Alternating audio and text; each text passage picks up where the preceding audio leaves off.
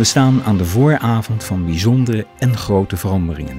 Volgens John Velbrief verdwijnen de reguliere en commerciële televisiekanalen binnen vijf jaar om plaats te maken voor internettelevisie.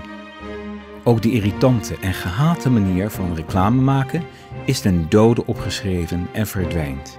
De media veranderen, marketing veranderde en verandert nog steeds. Online video is aan een enorme opmars begonnen. Het gaat allemaal in een duizelingwekkend tempo.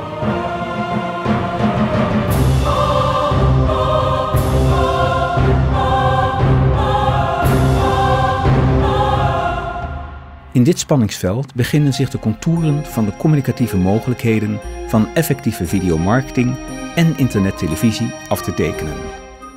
Videomarketing en internettelevisie worden steeds populairder. Want we willen vooral snel en doelgericht communiceren en geen tijd meer verspillen. In een op internet gebaseerd televisiekanalen-systeem kunnen adverteerders veel effectiever hun producten en diensten, als mede de corporate info en background, onder de aandacht brengen dan tot nu toe het geval is geweest.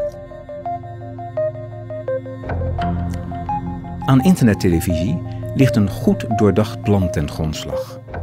Bovendien moet de vraag gesteld worden: wordt ons internetttelevisiekanaal puur informatief en redelijk beperkt van opzet, of krijgt het ook een commercieel deel? Er zijn namelijk allerlei varianten denkbaar.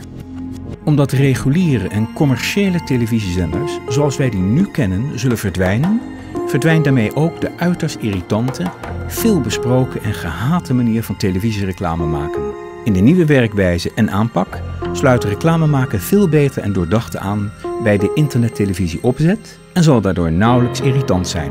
Opvallend daarbij zal zijn dat de adverteerder de kijker een vergoeding zal moeten bieden voor het bekijken van reclamecommercials.